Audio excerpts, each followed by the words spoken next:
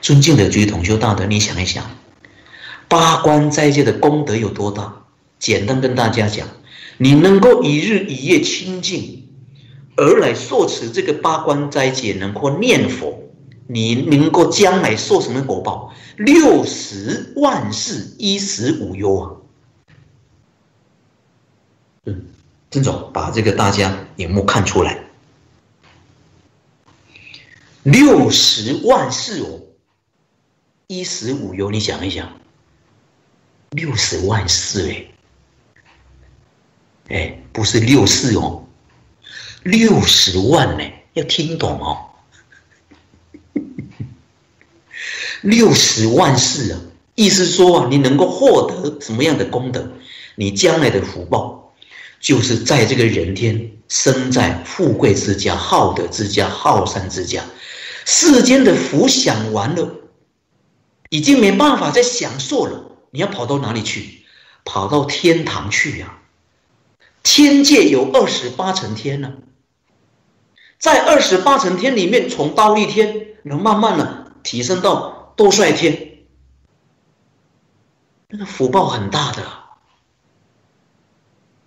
从倒立天来看，你看倒立天一天寿命这里一百年呐，倒立天的一天哦，我们这个世间一百年，还没其他的他化自在天呐，多帅天呐。花乐天呐，哇，那个寿命太长了，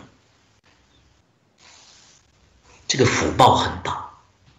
那如果你能够把这个福报放下，认真修行啊，我这个福报天道的福报我不享受了，因为天道的福报啊是是无常，不是永恒的。我要享受那种永恒的，我要放下念佛。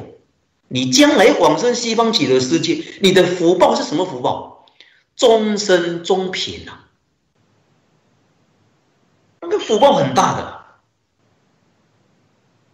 所以你看那个《无量寿经》里面第三十七篇，大家都知道，释迦牟尼佛告诉我们，就是等于阿弥陀佛告诉我们，你在这个世间一日一夜清净心，能够持斋戒清净，你的福报超过。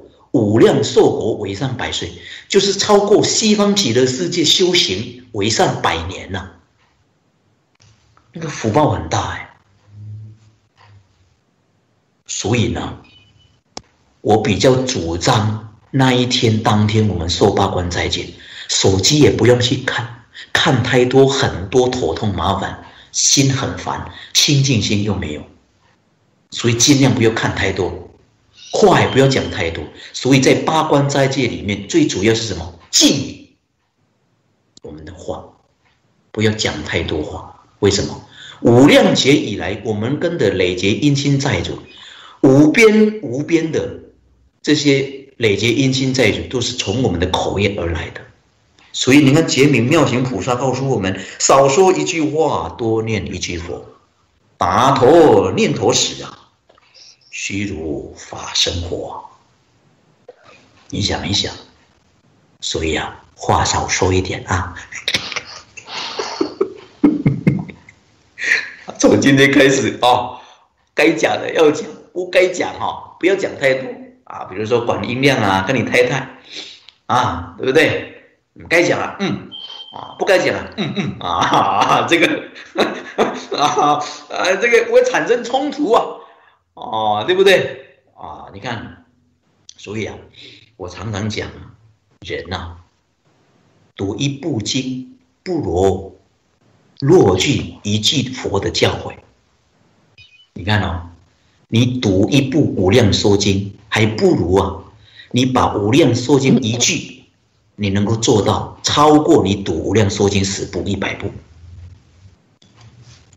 要记得哦。